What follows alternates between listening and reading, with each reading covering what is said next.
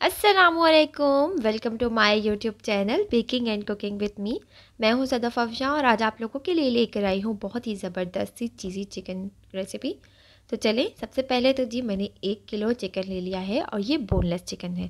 मैंने इसको क्यूब्स में कट कर दिया है और पीसेस को बिल्कुल नॉर्मल रखा है साइज़ का, अगर आप लोग चाहें तो छोटा बड़ा कर सकते हैं। तो यहाँ पर जी मैंने एक बोल के अंदर टू हंड्रेड क्रीम ले ली है। और मैंने टेट्रापैक क्रीम यूज़ की है। साथ ही हम इसमें टू टेबल स्पून चीज़ का ऐड कर देंगे।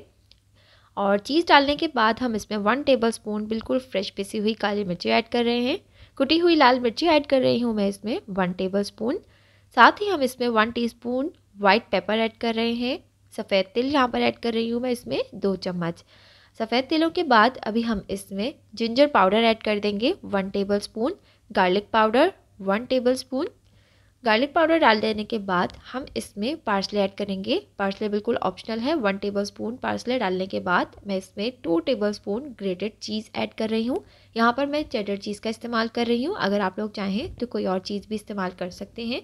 यहाँ पर मैंने चेडर चीज़ को एक कद्दूकश की हेल्प से अच्छे से ग्रेट कर दिया है और ग्रेट करके ही हमने इसमें ऐड करना है। बस सिर्फ़ दो ही चम्मच हमने इसमें ऐड करने थे। अभी हम इसको अच्छे से मिक्स कर देंगे। तमाम जो मसाले हैं, वो अच्छे से क्रीम चीज़ दही और क्रीम के साथ मिक्स हो जाने चाहिए। कहीं पर भी किसी भी मसाले का लम्स नहीं रहना चाहिए। तो बस जी, यही मसाले थे। अभी हम इसमें कुकिंग ऑयल ऐड कर देंगे। यहाँ पर मैं इसमें two tablespoon cooking oil add कर रही हूँ। अगर आप लोग चाहें तो इसमें बटर भी ऐड कर सकते हैं मेल्टेड बटर लेकिन वो रूम टेम्परेचर पर करके कीजिएगा। बहुत ज़्यादा गर्म गर्म इसमें बटर आप लोगों ने ऐड नहीं करना है। तो जी, मैंने इसमें two tablespoon cooking oil add कर दिया है। अभी मैं इसमें वन टेबल स्पून सॉल्ट का ऐड कर रही हूँ। सॉल्ट आप लोग अपने टेस्ट के अकॉर्डिंग इसमें ऐड कर सकते हैं क्योंकि हमने इसमें क्रीम चीज़ ऐड किया है, वो भी सॉल्टी होता है तो आप लोग उसके हिसाब से इसमें नमक ऐड करिए। तो यहाँ देखिए जी चिकन को जो मैंने क्यूब्स किया था, उसके ऊपर मैं दो चम्मच सिरका ऐड कर रही हूँ और सोया सॉस ऐड कर रही हूँ टू टेबल स्पून अगर आप लोग चाहें तो सिरका और सोया सॉस को ऐड करके इसको तकरीबन आधे घंटे के लिए छोड़ भी सकते हैं, लेकिन मैं इसको साथ ही इसमें मसाले ऐड कर दूँगी जो मैंने मैरिनेशन तैयार की है. तो यहाँ देखिए जी हमारा जो चिकन है, उसके ऊपर सिरका और सोया सॉस डाल देने के बाद, अभी मैं इसमें जो मैंने मसाले का जो बैटर तैयार किया है, वो इसमें ऐड कर दूँगी। सारा मसाला मैंने इसमें ऐड कर देना है और इसको हमने अच्छे से मिक्स कर लेना है।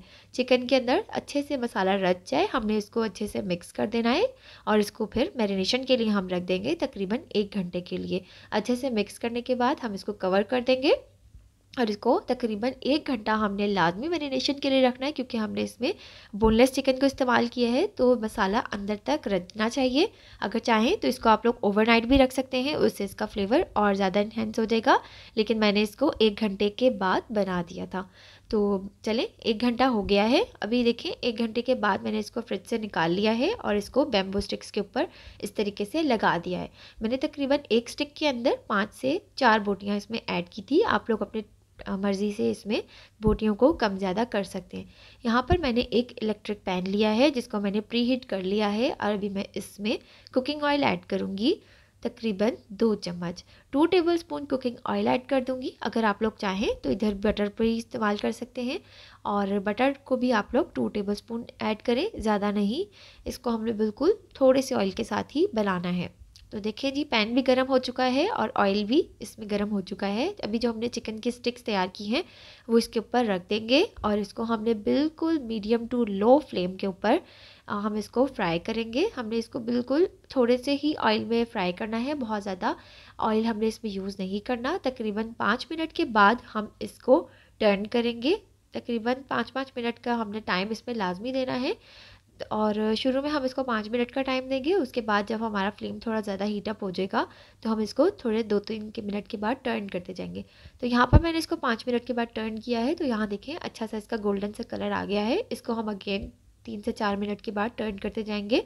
इसको हमने सारी साइड से गोल्डन कलर लेकर आना है और अच्छा सा हमने इसको जब तक ये कुकड हो जाए, इसको हमने टर्न करके पकाना है। तो जी, तकरीबन 12 से 15 मिनट लगेंगे। बोनलेस चिकन है, जल्दी गल जाएगा। तकरीबन हम इसको तीन से चार मिनट के लिए ढक देंगे ताकि इसके ऊपर स्टीम लगे और स्टीम से अंदर तक जो चिकन के पीसेस हैं, वो गल जाएँ। मैंने यहाँ पर तकरीबन नॉर्मल साइज़ के ही पीसेस किए थे। अगर आप लोग छोटे पीसेस करेंगे तो वो ज़रा जल्दी गल जाएँगे। तो साथ ही जी हम इसमें थोड़ा सा प्याज के जो लच्छे हैं, वो ऐड कर रहे हैं। जो चिकन का मसाला पैन के ऊपर लगा है, उसी मसाले के अंदर हम इस प्याज के लच्छों को सौते करेंगे। साथ ही हम इसमें फ्यू ड्रॉप्स कुकिंग ऑयल की ऐड कर देंगे। अगर आप लोग चाहें तो यहाँ पर आप लोग बटर भी यूज़ कर सकते हैं, उससे इसका फ्लेवर और ज़्यादा इन्हेंस हो जाएगा। इसी मसाले के साथ हमने प्याज को अच्छे से सौते कर लेना है। और आप देख रहे हैं, जो भी मसाला पैन के ऊपर चिकन का लगा था, वो सारा अभी प्याज के ऊपर लग जाएगा और इसका फ्लेवर बहुत अच्छा आएगा। बस इतना सही काम था, साथ ही हम इसमें थोड़ा सा चिकन के ऊपर ग्रेटेड चीज़ ऐड कर रहे हैं। यहाँ पर अगेन मैंने चेडर चीज़ ही यूज़ किया है। आप लोग कोई भी चीज़ इसमें इस्तेमाल कर सकते हैं अपने टेस्ट के अकॉर्डिंग इसको कवर कर देंगे, बिल्कुल मीडियम फ्लेम पर इसको हमने रखना है, ताकि चीज़ अच्छे से मेल्ट हो जाए। फ्लेम को भी मीडियम टू लो पर कर देंगे, बिल्कुल। और चीज़ के मेल्ट होने का वेट करेंगे। तकरीबन तीन से चार मिनट में हमारा चीज़ अच्छे से मेल्ट हो जाएगा। और यहाँ देखें जी चीज़ भी मेल्ट हो गया है और अनियंस हमारी अच्छे से सॉफ्ट हो गई हैं। तो इसको हम अभी सर्व करेंगे। एक डिश के अंदर हम पहले इसको निकाल देंगे और बस आज की रेसिपी इतनी ही थी। अभी हम इसको सर्व कर रहे हैं और इसको हम इंजॉय करेंगे। मैंने एक सॉस तैयार किया था जिसमें मैंने सिर्फ़ केचप और मेयोनीज़ को मिला दिया था। अगर आप लोग चाहें तो सिर्फ़ इसको केचप के साथ भी सर्व कर सकते हैं।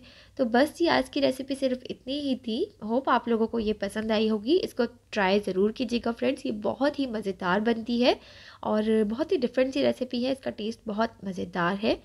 होप आप लोगों को ये वाली रेसिपी पसंद आई होगी। मुझे कमेंट सेक्शन में अपना फीडबैक लाजमी दिया करें फ्रेंड्स बस मिलते हैं किसी न्यू रेसिपी के साथ। इन मुझे दुआओं में याद रखिए। अल्लाह हाफिज़। Thank you so much for watching